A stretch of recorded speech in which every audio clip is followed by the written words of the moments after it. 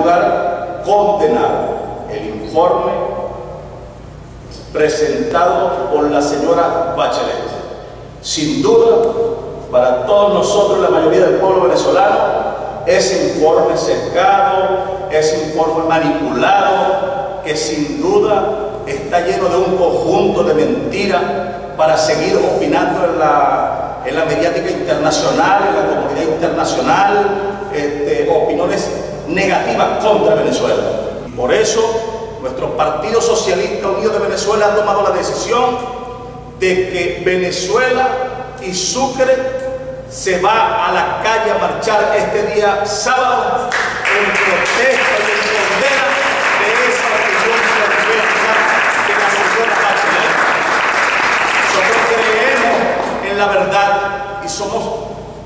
orientadores de la